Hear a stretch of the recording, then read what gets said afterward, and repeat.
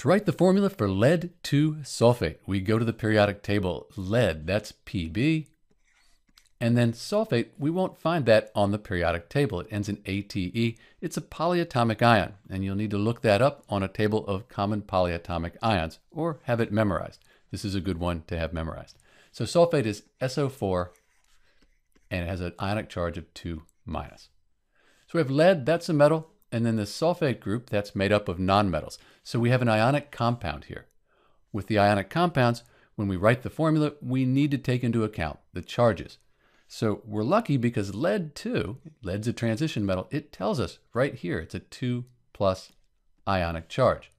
We looked the sulfate up that had a 2 minus. So these need to add up to zero to have a net charge of zero to have a neutral molecule. Lead, 2 sulfate, that's a neutral molecule. 2 plus, 2 minus, excellent. The net charge is zero. This is the formula for lead 2 sulfate. Let's clean it up. And that's it, lead 2 sulfate, PbSO4. This is Dr. B, and thanks for watching.